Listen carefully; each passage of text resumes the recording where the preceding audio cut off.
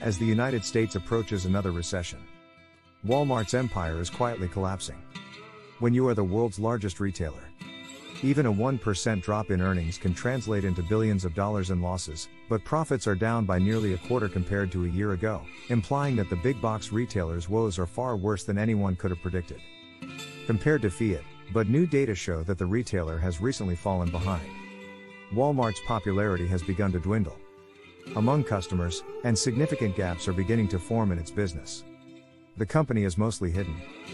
Because of the issues it is facing, its financial struggles have been kept out of the spotlight. Are different around the world, allowing the superstore gene to blend into the background. However, as wise fools Travis Hoium pointed out, when we read between the lines, we can quickly identify a company in serious trouble. And could be the latest in a long line of top retainers to go from boom to bust in the blink of an eye.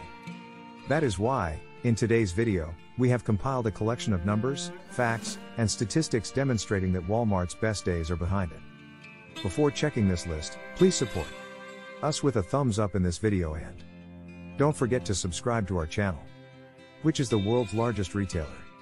In a September 29 announcement, the country's largest grocery store shared an ominous sales outlook for the fourth quarter of 2022. Walmart anticipates a significant decline in profit margins as the rising cost of everyday necessities consumes more of household budgets, leaving shoppers with less money to spend on items they want, such as new clothing. To get rid of merchandise that isn't selling, the company will have to slash prices on a wide range of items, hurting its bottom line during the busiest shopping season of the year. Walmart also announced that it expects adjusted earnings per share to fall by 9% in this quarter and by 13% compared to the same period last year, emphasizing the company's recent financial difficulties. Three days after the announcement, the market reacted accordingly, sending Walmart shares down by 8% in a single day, and while it has since recovered, it remains near the lows of a consolidation pattern 4 at the moment. Walmart stock remains below its 50 day moving average, indicating that it is still struggling. It is also below the longer-term 200-day moving average. Its recent poor performance in the market downturn was not the worst ever. This year, in fact, it was in May. Shares of the supermarket chains fell 11.7 points in a single day after the company released its first earnings report, revealing that its first quarter was exceptionally weak, as investors expected. The retailer will pay the reporter $1.48 per share. Profit, but Walmart reported a loss of 1.30 cents per share. According to GAAP data, the retail giant reported a 24% drop in profit per share year over year. Investors understandably worry about diluted shares. Are dissatisfied. As a result of the news, profits suffer. Outsourcing is the least of Walmart's problems. There was no profit for the retailer. Instead of consuming $3.8 billion from operations over the last quarter, include $3.5 billion in capital. Walmart's free cash flow and spending. According to historical data provided by S&P Global Market Intelligence, more financial losses for Hallmark may be on the way. Quarter 3 was a depressingly negative $7.3 billion, and the company hadn't experienced negative cash flow from operations since quarter 3 1995, more than a quarter century ago. According to an IBD stock checkup, earnings have actually fallen by an average of 4.5% over the last three quarters. This falls far short of the 25% growth sought by investors. Over the last three years, the retail chain's monthly sales have increased by an average of 10%. As a result, sales are expected to increase by 4% in the fourth quarter of 2022. To put it another way, it appears unimpressive. Walmart stock is viewed by investors as a no, buy right now. During a post earnings conference call last month, Executives stated that the company is experiencing a lack of cash flow, which was the primary cause because it spent heavily to build inventory in the first two quarters of the year, and the cost of its inventory was further elevated due to inflation. The main issue was that the more expensive items purchased this year simply did not sell at the rate expected by the company, resulting in a massive inventory glut. In recent months, Walmart has canceled a large number of orders. According to John David Rainey, the company's EVP and CFO, the retailer was reducing its exposure to home electronics and sporting goods. The retail titan understands how important low prices are to its success. Customers, but the company has just issued an alarming warning to all customers worldwide. On the food front, we're seeing double digit inflation, which concerns me. That inflation may continue to rise. CEO Doug McMillon stated that Walmart's grocery division Prices have already risen by 21% since July 2019. It's no surprise that consumers are shopping less at the superstore chain between now and July 2022.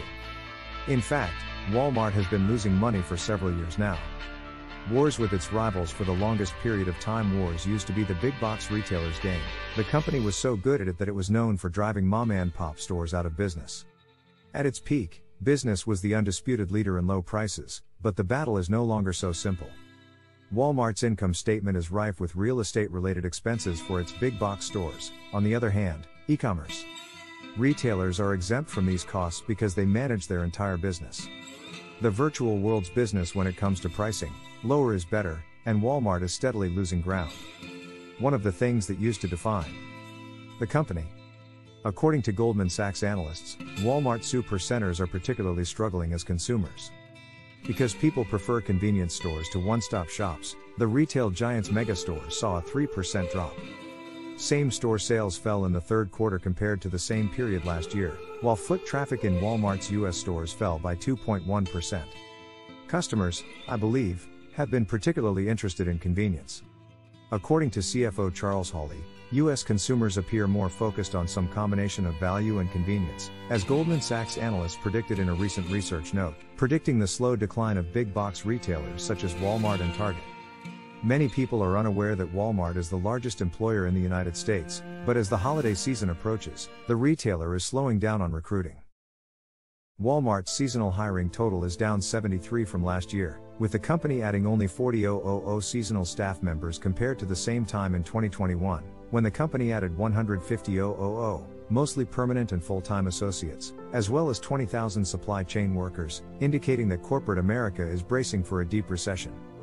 In August, Walmart said that major layoffs were necessary for the company's future in a single month it reportedly laid off approximately 200 of its corporate employees admit growing concerns over inflation and sagging customer spending in a statement the Company said inflationary prices.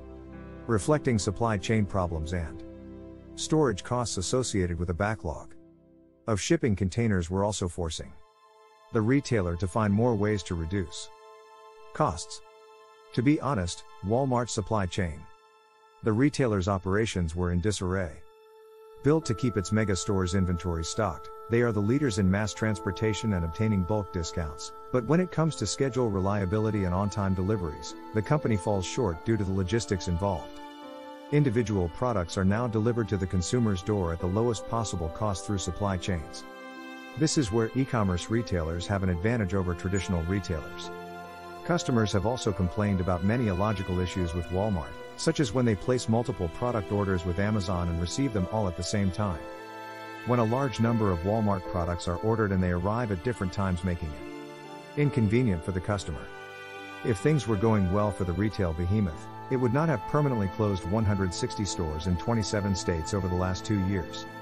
Over 400 people were laid off as a result of the closures. With 10,000 employees, the states were the hardest hit. To the north, Texas had 29 closures. Carolina defeated Arkansas 17 to 11. In addition, the retailer has temporarily closed hundreds of stores in recent weeks, so if your local Walmart is closed, that's why. As of September 30th, according to the big box retailer's website, at least 240 stores are currently closed across the United States, with no set date for reopening. Some of the facilities were experiencing product and personnel shortages. While others have been impacted by Hurricane Ian, which has resulted in inventory losses totaling an estimated $6 million, and this is only within the state of Florida. The retail chain is closing down around the world. It will close 269 stores as part of the Walmart Express pilot program. 95% of those affected are within a 10 mile radius. A different Walmart. It is never an easy decision to close a store. However, it is necessary to maintain the company strong and positioned for the future CEO. Doug McMillon stated that the layoffs will begin at the end of the month and that they plan to lay off 16,000 people company's global revenue given that closed doors mean money not made. Having said that, it is becoming increasingly clear that Walmart's empire is gradually crumbling. Walmart's hegemony in the United States may be eroding. According to JP Morgan, Walmart will be the largest retailer in 2020. Amazon is on track to surpass Walmart as the best performing company in the country this year. According to the analysts, Amazon's US gross merchandise volume, or GMV, which is a closely watched industry metric used to measure the total value of goods sold over a given time period, has grown significantly faster than both US adjusted retail sales and US e commerce. Analysts from JP Morgan at Amazon's GMV in 2022 is expected to have increased 41% year on year, while Walmart's GMV is expected to have decreased. The amount is 10 euros for the year 2020. Based on current projections, we believe Amazon will overtake Walmart as the largest retailer in the United States by 2022. Christopher Horvers and Doug Anmuth of JP Morgan wrote. All of these statistics suggest that the world's largest the foundation may not be on solid ground for retailers. However, this is no longer the case. The entire story Walmart is the thermometer for the entire American economy. Despite the fact that it is a declining empire, the organization is solely concerned with selling goods and services to Americans. It continues to sell a large volume of merchandise every day, so when Walmart misses estimates, it can only mean one of two things either Walmart or the the American economy is weaker than anyone else's. Or both at the same time. Time. Walmart is a fantastic business.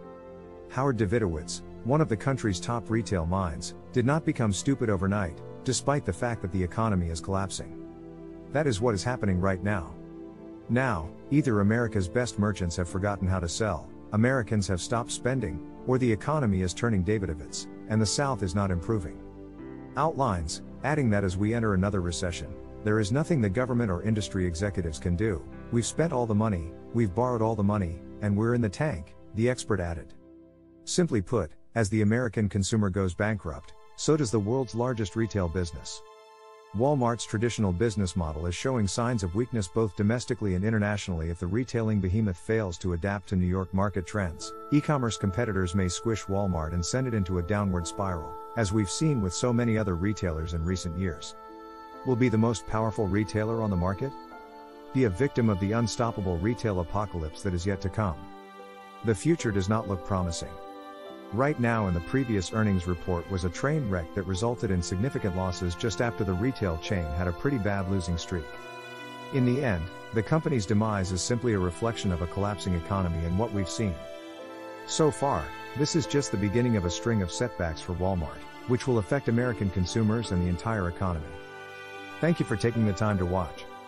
We look forward to hearing from you in the comments section of this video, and please subscribe to our channel.